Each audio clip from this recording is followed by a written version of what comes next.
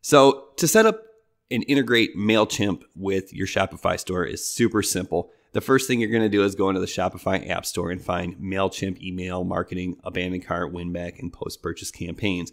Now, the abandoned cart follow up series is going to be part of their automation program, which requires a paid membership. Uh, but they, I mean, there's so many cool features for free to kind of get used to it. So the first thing you want to do is go ahead and download this app, which of course is free. And then you will go over if you don't already have a MailChimp account and you will sign up for one. Once again, this is free up to your first 2,000 subscribers. So just go ahead and get this thing set up. And once you are, you'll be able to log in to your MailChimp dashboard.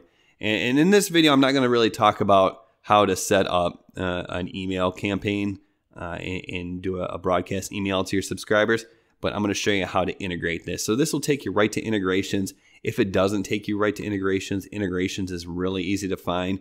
Once you're in your home dashboard here, just go down to your uh, settings here, your account,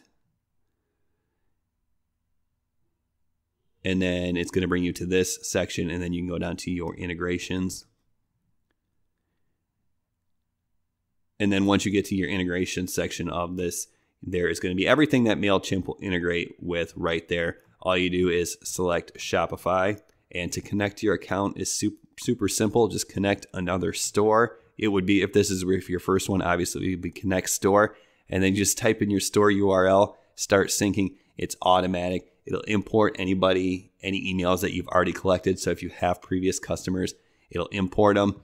And then if you head back to your dashboard here, you can see, I mean, just all the metrics. You can see, you know, I added 53 people and it imports everything. I mean, it says I made three orders yesterday, and it just reports everything right inside your your Mailchimp dashboard here. And once again, you know, you can you can see your metrics for your emails. You can send a broadcast email. It's just it's just really cool. Definitely got to get on board. Check it out. And uh, you know, if you're wondering why I don't have any sales here, it's you know, as you may or may not know, I just run the the Shopify as as a case study to test out and and give you guys great information. I I've been doing this a long time. I, my sources of income come from other places. So, um, you know, but anytime I want to train, for instance, I wanted to train on Shopify, you know, I, I wanted to make sure that I had the, I had the actual stats here and I had the actual information. I had the actual knowledge, I'm not just giving you theory here.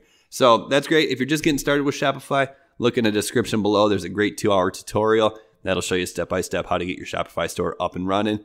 And subscribe to the channel if you found value in this video. I, I try to put out two to four a week. And we'll see you next time. Thanks for watching.